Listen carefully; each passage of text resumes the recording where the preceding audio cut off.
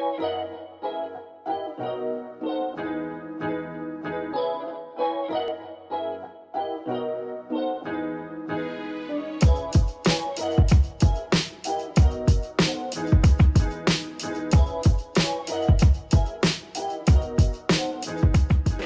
dan i dobrodošli. Izgleda da je ovo danas najveća radionica do sad što smo imali. Nama je jako drago što ćemo i danas provesti vrijeme sa vama.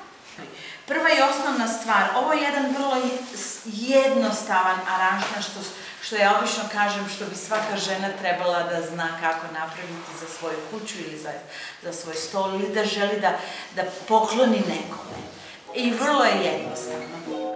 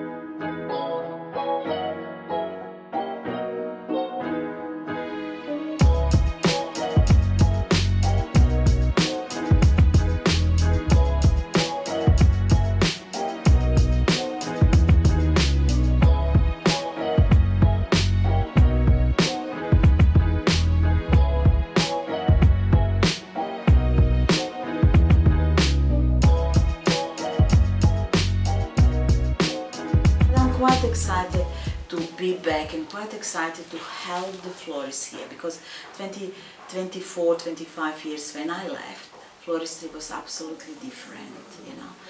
And uh, it's so hard because it's, it's not that much money, but love for the flowers, they're still there and people have a culture, depending with us in Australia, maybe we have money, but maybe we don't have that much culture.